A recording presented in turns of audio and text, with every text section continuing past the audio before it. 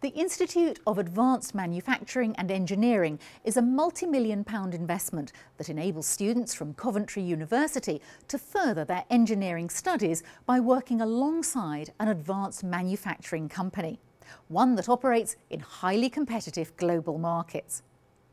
This led to the opening of a dedicated facility located on a Unipart manufacturing site right next door to the factory itself. And this has just celebrated its first birthday. Grapevine was there to record this event and also to see what real benefits are being generated by this unique working relationship.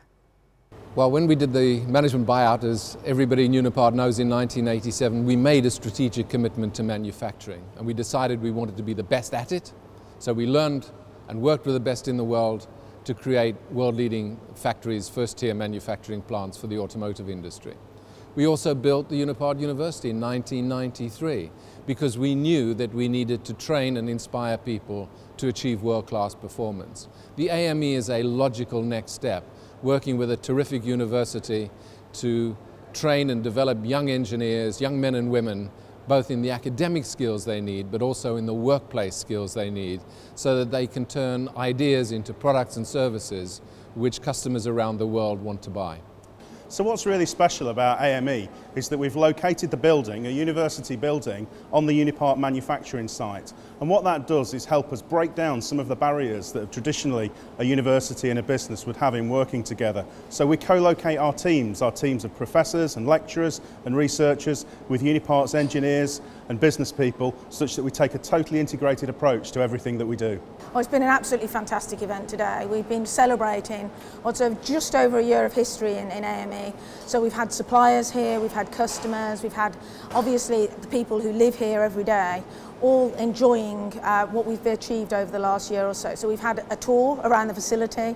We've, uh, we've seen lots of tour stops uh, ranging from how we develop technical solutions through to innovation. We've seen how robotics are developing, how, we'll, how, how we've got to where we are today, but then, then the future as well. And I hope what we've done is bring alive the real um, inner secrets of, of Which and I think I've said many times this is not rocket science. It's the, the uniqueness is bringing these people together on a day-to-day -day basis to generate solutions that underpin the competitiveness of, of UK and in the end solve this productivity puzzle that everybody keeps talking about. Working at the AME is really really good because you get to build a, a, a live experience which you wouldn't get with other, other degrees. Um, the experience you get on a daily basis uh, allows you to build on your classroom knowledge and apply it to live situations and solve problems that are going on in the factory at this moment?